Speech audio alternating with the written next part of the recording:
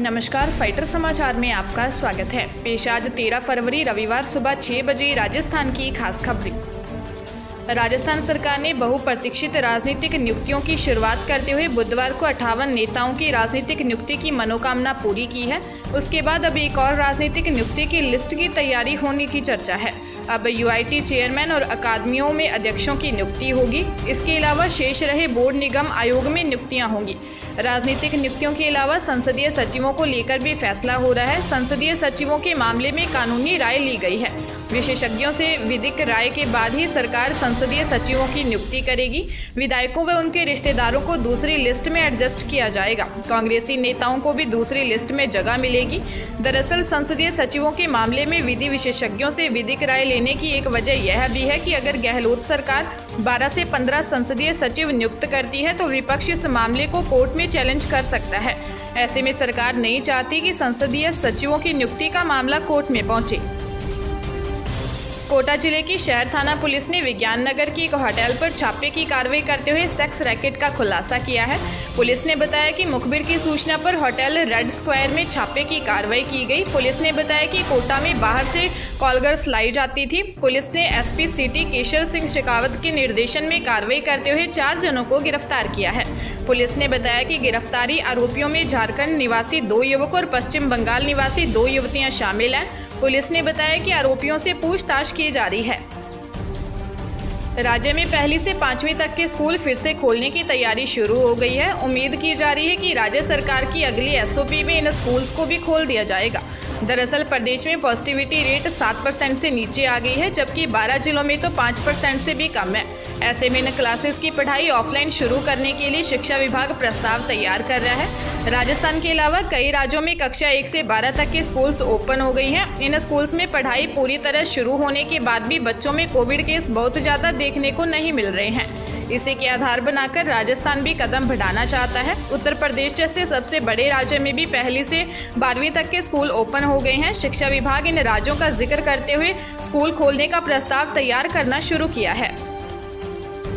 जयपुर के शाहपुरा के भाभरू थाना क्षेत्र में हाईवे स्थित अलवर तिराहे पर एक बड़ा हादसा हो गया। हादसे में तीन लोगों की मौत हो गई, वहीं दो लोग गंभीर घायल हो गए। सूचना पर पहुँची पुलिस ने मृतकों के शवों को अस्पताल की मोर्चरी में रखवाया है। वही घायलों को अस्पताल में भर्ती करवाया है। पुलिस ने बताया कि कार एक ट्रेलर के पीछे चल रही थी। अचानक ट्रेलर के चालक ने ब्रेक लगा दिए, जिससे कार ट्रेलर के पीछे घुस गई।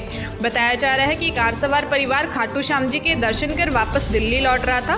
पुलिस हादसा होने के कारणों की जाँच में जुट गई है। पुलिस ने बताया कि मृतकों की पहचान लज्जावती, साक्षी गोयल और वरुण गोयल निवासी दिल्ली के रूप में हुई है। इंडियन प्रीमियर लीग के मेगा ऑक्शन की आईपीएल चेयरमैन ब्रिजेश पटेल ने अपने संबोधन के साथ की। वहीं बीसीसीआई अध्यक्ष सौरव गांगुली, अधिकारी राजीव शुक्ला समेत बीसीसीआई से जुड़े अन्य लोग ऑक्शन में शामिल हुए। दिल्ली कैपिटल्स ने सबसे पहले शिखर धवन के लिए बोली लगाई। पंजाब किंग्स ने शिखर धवन को सवा आठ करोड़, रविचंद्रन अश्विनी को राजस्थान रॉयल्स ने पाँच करोड़, ऑस्ट्रेलिया की टेस्ट टीम के कप्तान पैट कमिंस को कोलकाता नाइट राइडर्स ने सवा सात करोड़, साउथ अफ्रीका के तेज गेंदबाज कैगिसो रबाडा को पंजाब किंग्स ने सवा नौ करोड़, न्यूजीलैंड के तेज गेंदबाज ट्रेंट बोल्ट को राजस्थान रॉयल्स ने आठ करोड़ रुपए में खरीदा। वहीं भारत के स्टार बल्लेबाज श्रेयस अय्यर के लिए जमकर बोली लगाई। कोलकाता नाइट राइडर्स ने श्रेयस अय्यर को सवा बारह करोड़ रुपए में खरीदा। टीम इंडिया के तेज गेंदबाज मोहम्मद शमी को सवा छह करोड़ में गुजरात टाइटन्स ने खरीद लिया। साउथ अफ्रीका के बल्लेबाज फाफडू प्लेसिस को रॉयल चैलेंजर्स बेंगलुरु ने सात करोड़ रुपए में खरीदा। ऑस्ट्रेलिया के ओपनर डेविड वार्नर को दिल्ली कैपिटल्स ने सवा छः करोड़ रुपए में खरीदा। चित्तौड़गढ़ ज़िले के बेंगू थाना क्षेत्र के खटीक मोहल्ले में एक विधवा महिला को बंधक बनाकर लाखों रुपए की लूट करने का मामला सामने आया है। सूचना पर पहुँची पुलिस ने बताया कि बदमाशों ने वारदात को अंजाम देते हुए करीब 25 तोला सोने के आभूषण 4 किलो चांदी के आभूषण और घर में रखी करीब 10 लाख रुपए की नकदी लूटकर फरार हो गए। पुलिस ने बताया कि चार पाँच बदमाश घर में पीछे की खिड़की तोड़कर अंदर घुसे थे। बदमाशों ने महिला को करीब दो घंटे तक बंधक बनाकर वारदात को अंजाम दिया। पुलिस ने वारदात स्थल का मौका मुआयना कर बदमाशों की तलाश शुरू कर दी है। बांसवाड़ा ज़िले के दानपुर थाना क्षेत्र के फैफर गाँव में एक खेत में बारहवीं की छात्रा का शव मिलने से सनसनी फैल गई। सूचना पर पहुँची पुलिस ने शव को एमजी अस्पताल की मोर्चरी में रखवाया है। पुलिस ने बताया कि मृतका के परिजनों ने हत्या कर शव फेंकने का आरोप लगाया है। पुलिस ने शव का मेडिकल बोर्ड से पोस्टमार्टम करवाकर शव परिजनों को सौंप दिया। पुलिस ने बताया कि मामले की जाँच की जा रही है। झालावाड़ ज़िले के पगारिया थाना क्षेत्र के विनायगा के पास एक सड़क हादसा हो गया, जहाँ एक तेज रफ्तार कार अनियंत्रित होकर पलट गई। हादसे में कार चालक की मौत हो गई, जबकि पत्नी गंभीर घायल हो गई। हादसे में कार सवार दो बच्चे बाल बाल बच गए। सूचना पर पहुँची पुलिस ने घायल को अस्पताल में भर्ती करवाया है। मृतक के शव को अस्पताल की मोर्चरी में रखवाया है। पुलिस ने बताया कि कार सवार परिवार कोटा से उज्जैन जा रहा था, तभी उनकी कार के आगे कोई पशु आ गया, जिससे कार अनियंत्रित होकर पलट गई। जैसलमेर ज़िले के कोतवाली थाना क्षेत्र में इन दिनों चोरों के हौसले बुलंद है। चोरों ने गफूर भट्टा स्थित एक मकान से करीब 10 लाख रुपए के गहने और पचास हज़ार रुपए चुरा लिए। चोरी के समय मकान में कोई नहीं था और परिवार महिला की डिलीवरी के लिए जोधपुर गया हुआ था। खाली मकान को देखकर चोरों ने हाथ साफ़ किए। सूचना पर पहुँची पुलिस ने मौका मुआयना कर चोरों की तलाश शुरू कर दी है। पुलिस ने बताया कि रमज़ान खान के घर में चोरी हुई है। वे तीन दिन पहले ही अपनी गर्भवती पत्नी की डिलीवरी के लिए जोधपुर गए थे। पीछे सोने मकान को देखकर चोरों ने इसे अपना निशाना बनाया। चोर घर से करीब पंद्रह तोला सोना, सौ तोला चांदी और करीब पचास हज़ार रुपये चोरी कर ले गए।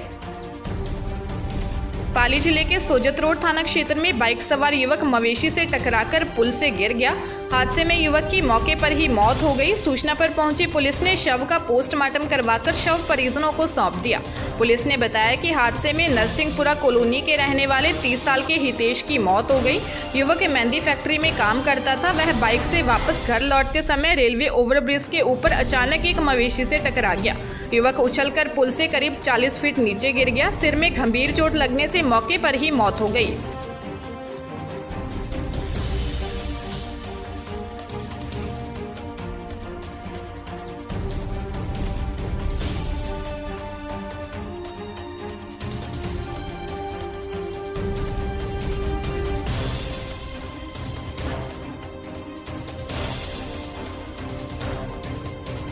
ताज़ा तरीन खबरों के लिए फाइटर न्यूज़ को सब्सक्राइब करें और बेल आइकन को प्रेस करें ताकि नई न्यूज़ अपडेट होते ही आपके फ़ोन की घंटी बज जाए।